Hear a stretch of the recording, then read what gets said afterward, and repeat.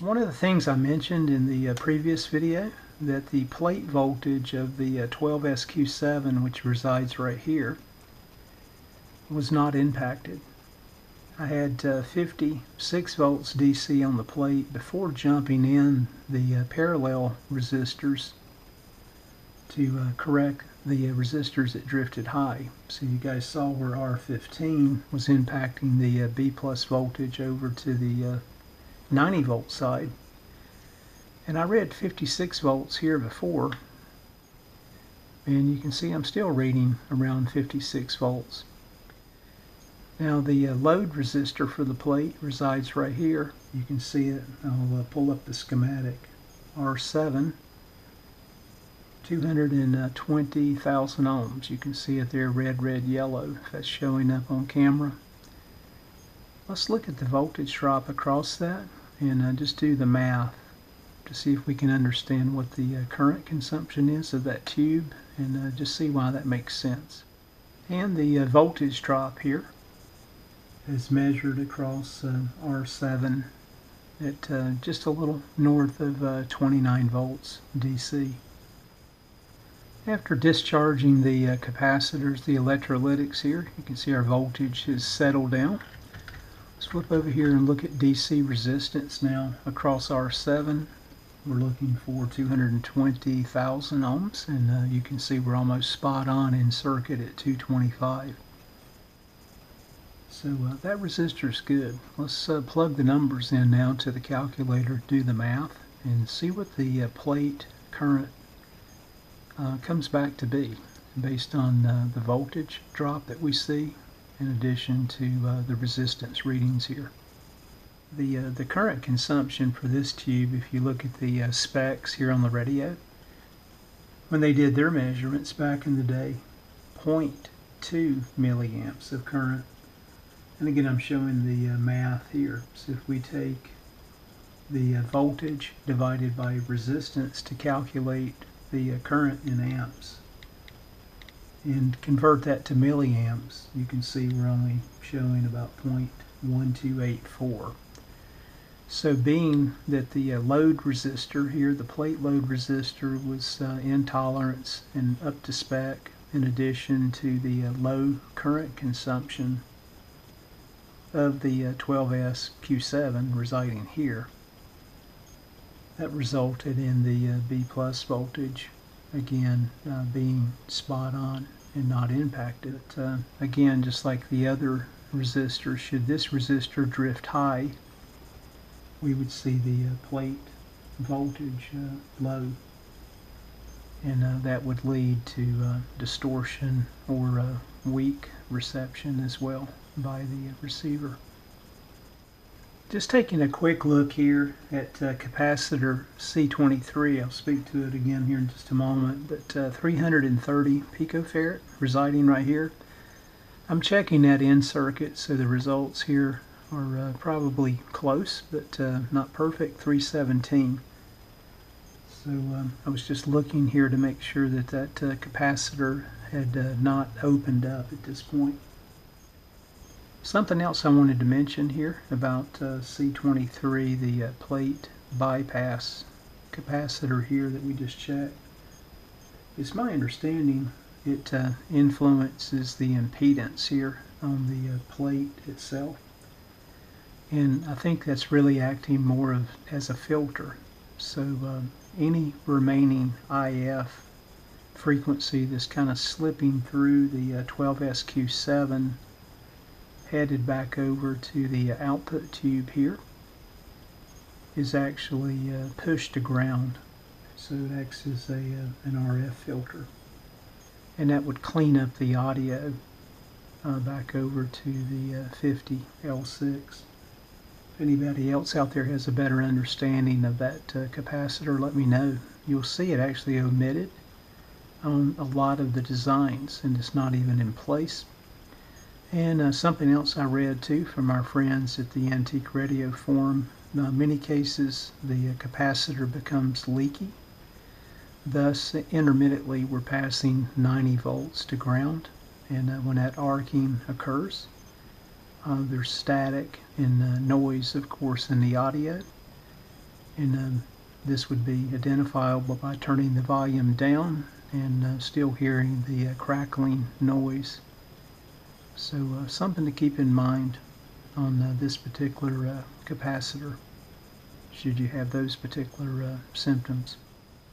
And one thing I didn't mention, again, if this should short, since you can see it's a bypass cap, we would uh, actually be taking the uh, plate voltage to ground, so we would uh, make the set inoperable at that point in time. Moving along here to the uh, volume control around this area, C14 resides right here in this particular receiver. It's nothing more than a uh, coupling capacitor. You can see that it uh, transfers the audio signal back from the uh, volume control here from the uh, wiper position which is uh, the center position you may not be able to see that very well at the angle that we're looking at and of course that signal then uh, goes back to the uh, grid here that I'm showing in the picture in picture. So you can see how that connects. Um, the typical values 0.01 microfarad. You'll see this design differs. Now again, should this uh, capacitor short out, DC voltage would then uh, flow back across the uh, volume control back to the uh, grid, in our case of the 12SQ7. Uh, and uh, that would lead to a, a dead or severely distorted audio, of course. And if this capacitor here should open up, then the receiver itself would be uh, dead at that point. Now again, I'm going to assume every capacitor in here, less any micas, which would be suspect as well in the oscillator section, are leaky. Let me just look at the DC resistance here on uh, this particular cap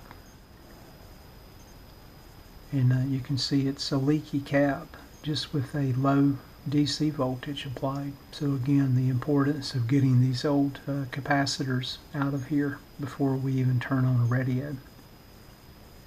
Um, so this capacitor is not effectively uh, blocking uh, DC as it should, is indicated here, even though the resistance readings are like 7 meg. Let's move down here to the uh, grid bias resistor here. The uh, bias resistor here, R6, you can see it's uh, called out on our schematic, It's 4.7 megohms. My guess is it's probably drifted high as well. And of course with a higher resistance value, we would see an increase in the uh, bias voltage as well, which could lead to uh, distortion in the audio side or get to the point where the uh, radio will not actually even operate. So uh, something to keep in mind. We'll uh, check this resistor. Most likely I'll have to pull a lead and uh, check it out of circuit. Just for uh, giggles here, we'll check in circuit and see what we read and maybe it's not because you can see when we initially went to it I was low and it's climbing. So some of that climbing effect I think is just some of the other components possibly some of the uh, capacitors taking a little charge. So uh, maybe that resistor will be okay but my guess is I would be a suspect of this uh, bias resistor. Again we're looking for uh, 4.7 but uh, just to make certain I will pull a lead here just to make sure that we're uh, within spec. Nestled way back in here and um, I'll do a picture in picture here from my camera so you guys can see this but you can follow along on the schematic. We've got uh, C13 here. Again it's nothing more than an RF bypass cap and uh, the ranges on it will typically be 150 to uh, 250 picofarads. This looks like it's possibly a mica cap back in here. Could be ceramic. And again, if this uh, capacitor opens, we would probably hear oscillation. We've been all around the uh, volume control here, and uh, all the uh, checks on it can be done with your digital multimeter, looking at DC resistance in most cases. Again, it acts as a uh, load resistor, in our case for the 12SQ7, and uh, many times you'll hear, you know, sporadic type distortion when uh, we're varying the uh, volume control up and down. And uh, of course that would indicate a problem. Many times you can get in here and clean the volume control and be successful. Other times, you know, the unit uh, may have to be replaced as well. Now this particular volume control has a tap location as well. I think at uh, 50k and uh, you'll see some designs done that way. Philco did that a lot as well. So many times, you know, you can't go back with the uh, tapped volume control. But uh, you could still make the uh, receiver play um, just almost equally as well uh, without the, the tapped control in place if you can't find one.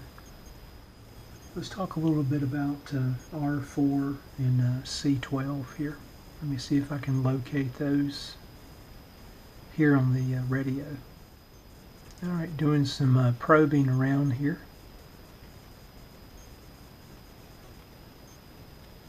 We've got uh, R4 is hiding here and uh, capacitor C12 is hiding out here. And again, both of these together if you look at the uh, schematic here, they create a, a filter for the uh, AVC. And uh, should capacitor uh, C12 here open up, the uh, AVC voltage will vary at the uh, audio rate, so that wouldn't be a good situation. Oscillation would also be common if this guy opens up. And of course, if this capacitor completely shorts, um, it would kill the AVC voltage completely and uh, just cause strong stations at best on the uh, receiver to uh, distort. Now if you go back here to uh, R4, if it opens or increases in value, we're going to basically have oscillation a dead receiver, and overload on local stations. So again, we'll do the same thing. We'll just take our digital multimeter and uh, we'll make certain that uh, this resistor is uh, 3.3 meg and is spec'd out plus or minus 20%. And of course this cap will need to go Let's just check across it and see if we can read any uh, DC resistance.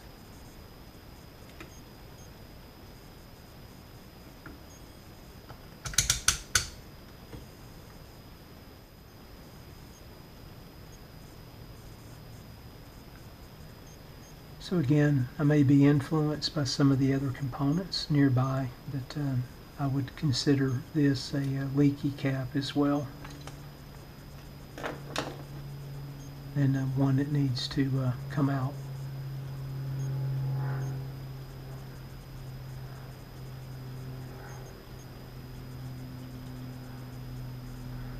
A nice day for flying. And uh, we come back, we'll jump back up to the uh, IFs itself and uh, look at those a little closer and uh, just keep working our way back over to the RF front end of the receiver. Thanks again for watching and take care.